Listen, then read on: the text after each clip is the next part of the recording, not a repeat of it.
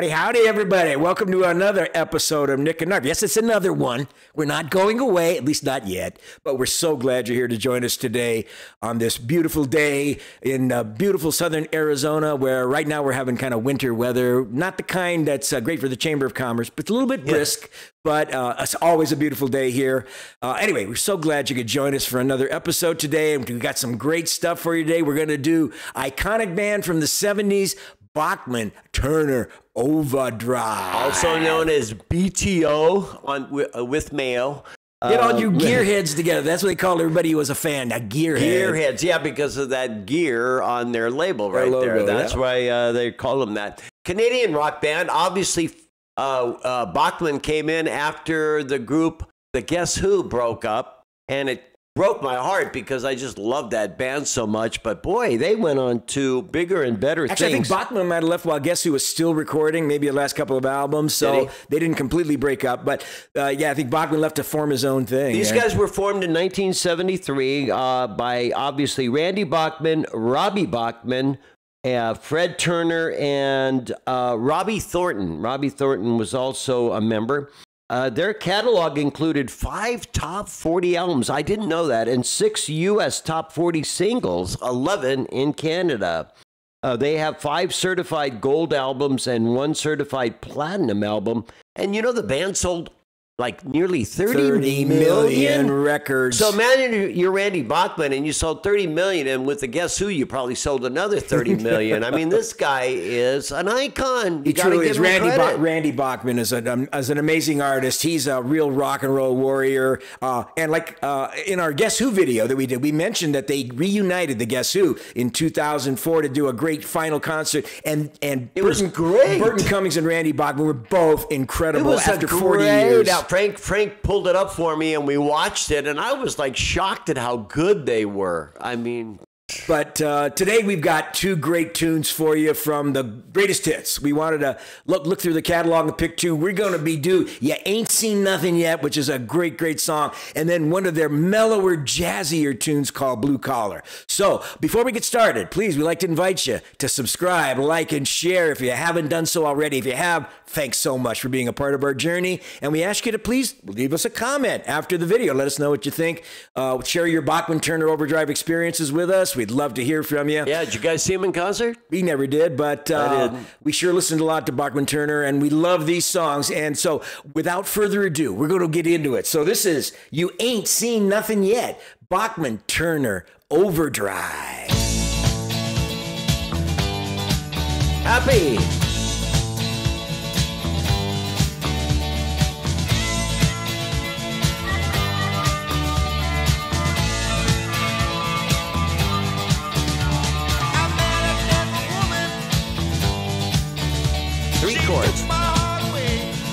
All you need for rock and roll, baby. And it's what you do with them. Hey, you ain't seen nothing yet.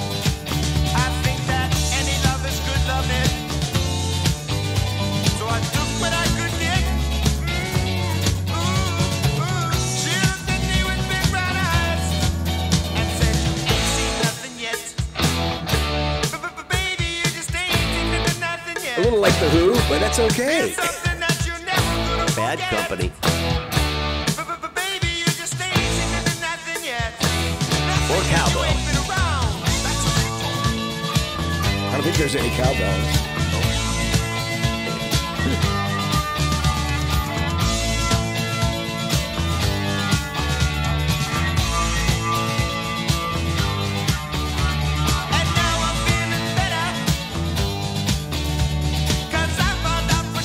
Tell me this doesn't put a smile on your face. Yep.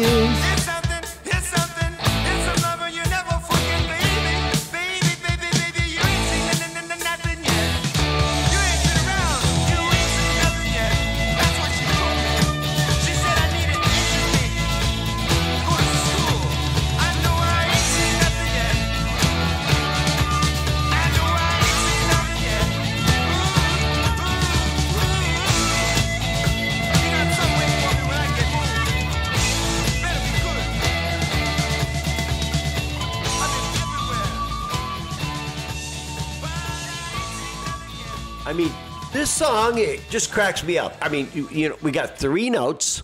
This funky guy going, you know what I mean? And the drummer's just sitting there going, but it's a great song. I mean, All of it together just has an infectious beat. And okay, so they take that riff from Baba O'Riley. So what? They make it their own. They reinvent it, and then I, what I like is the reversal of those notes where you're going down, down, down, then they go back up. You know, it makes a real neat counterpoint, and then those change of chords. I took what I could get, and it changes about four or five chords in there. Really makes the song different and interesting. Yeah. But boy, it just like Nick says, you feel upbeat. It's Yep. happy. It's It's engaging. a happy song. It's really well terrific. composed. Well composed song.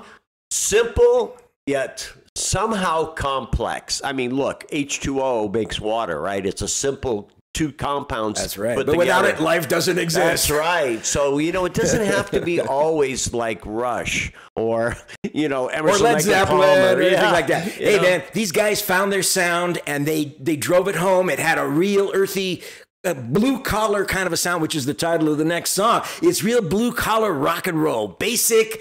It delivers uh, power, punch, rhythm, and energy, and that that's you can't take that away from anything BTO does. You know. Anyway, what did you think of uh, You Ain't Seen Nothing Yet? Leave us your comments, okay? But uh, that was our first choice. Now, let's get into some a little bit different tempo.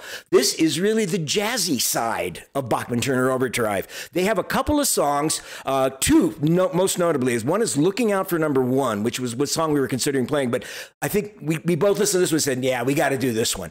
This one is kind of jazzy, soul R&B. It's a totally different sound, and it's called Blue Collar. So let's get into it. Here's BTO Blue Collar.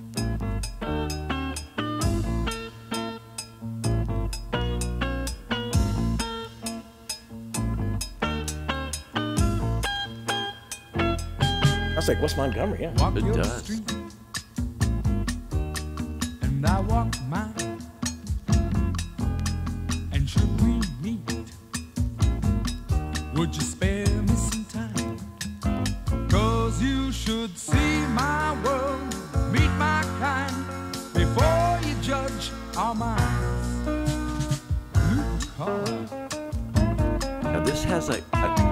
Francisco early late '60s band sound. They're from Canada. It's a I Can- know. That's what blows me away. so nice and jazzy. Quicksilver and Messenger. Sleep your sleep. I'm awake and alive. I keep late hours. You're nine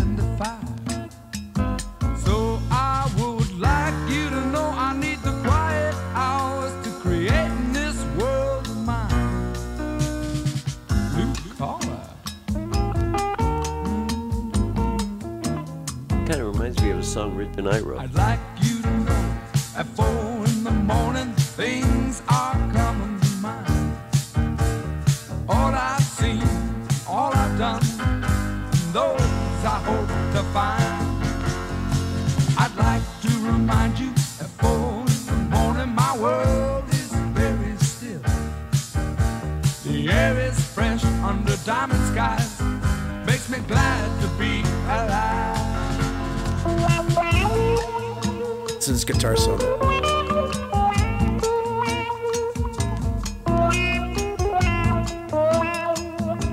Traffic. A little bit of traffic.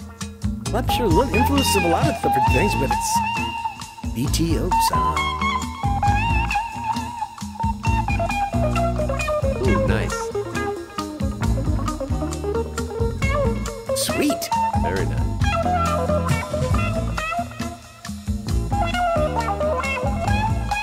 Randy Bachman. Beautiful guitar work.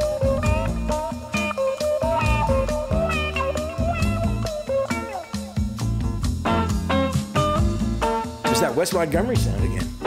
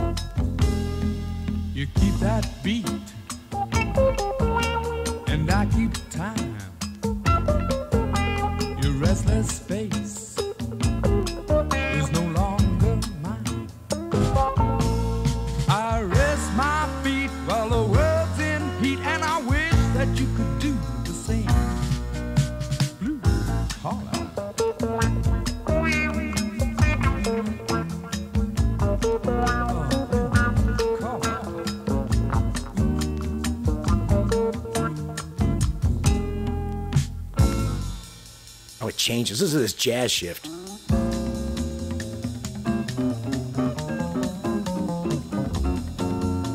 Ace.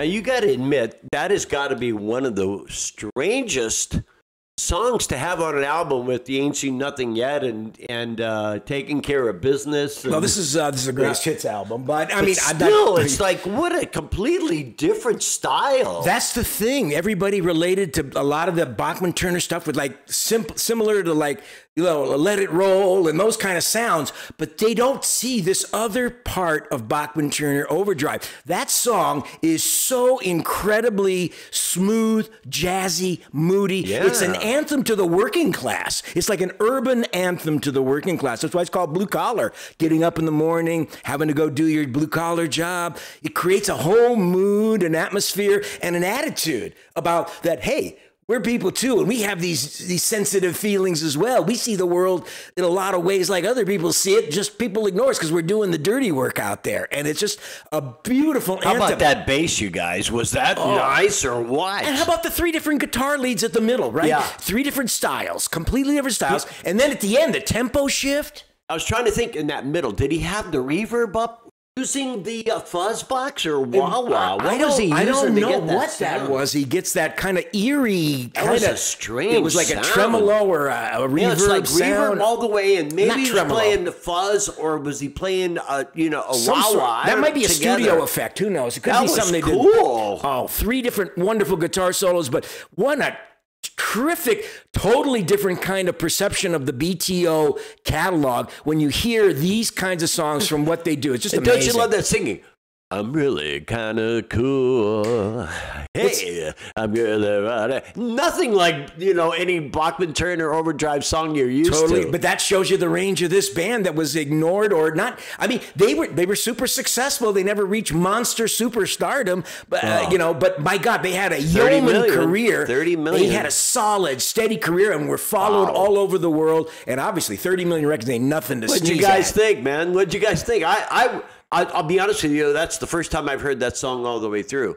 That was that, that impressed me. I thought it was so different. I was not expecting that. Hope you all. enjoyed these two great selections from Bachman Turner Overdrive. Uh, we, like I said, we are always trying to bring you not the obvious stuff. Sometimes going a little deeper, finding a song you might know or might not have heard because it's never been the big hit, but Yeah. it shows you something special about that band, and that, that's why I wanted to play Blue Collar or one of the slower. I was going to do Looking Out for Number One, but because they're both jazzy and so different from uh, the normal perception of Bachman Turner Overdrive, a tremendously talented band musically. Share this song with your friends, boy. They probably are going to say that and say, "Hey, guess who this is?" They're not going to know it's Bachman Turner. Absolutely. Overdrive. Well, we No really way. hope you enjoyed it. Please subscribe, like, and share. Remember, we're always out here caring for your ears, and we thank you for being And we us. can't wait to see you again. So till then, signing off, Nick and Knarf. All the best, people. Thank you so much. Peace out.